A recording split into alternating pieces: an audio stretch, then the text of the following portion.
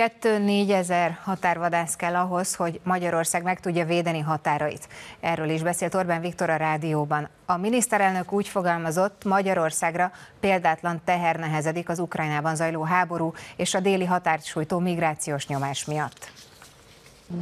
A napokban 19 afgán és román embercsempészt fogtak el Romániában. A rendőrök 40 millió forint készpénzt és luxusautókat foglaltak le. A bandát fél éve figyelte a román határrendészet. Teherautókon próbáltak migránsokat csempészni Magyarországra, hűtőszekrényekbe és koporsokba rejtették el őket.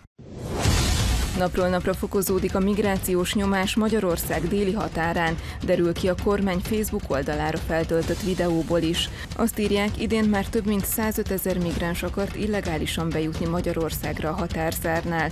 A videó tanúsága szerint a bevándorlók agresszívek, kövekkel támadnak a rendőrökre, és látszik, hogy felkészülten, szervezetten érkeznek a határra.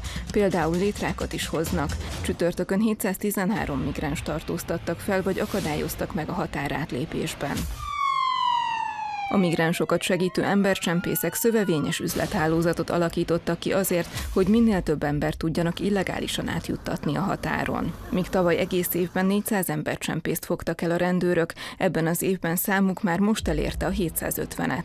Nem tudjuk megállítani a migránsokat azzal a szervezeti erővel, ahogyan eddig képesek voltunk rá, mint ahogy eddig képesek voltunk megállítani. Orbán Viktor miniszterelnök a Kossuth Rádióban arról beszélt, hogy példátlan nyomás nehezedik most Magyarországra.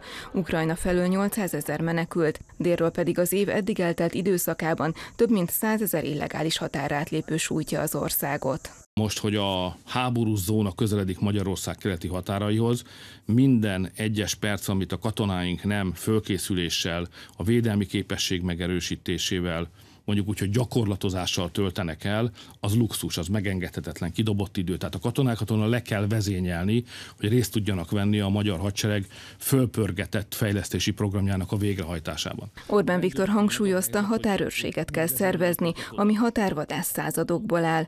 A miniszterelnök azt mondta, két-négyezer emberre lesz szükség. Most már riasztólövések is vannak, tehát valaki figyeli a déli helyzetet, akkor látja, hogy egyre erőszakosabbak a embercsempészek és az illegális migránsok, és hát erőszakkal szemben plüsmacikkal és virágcsokrokkal nem lehet védekezni, tehát nekünk most néhány ezer jó kiképzett határvadászra lesz szükségünk a következő hónapokban.